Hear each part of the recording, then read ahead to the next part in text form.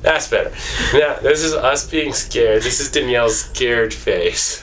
As you can as you can see, she is very eloquently spoken that she is scared.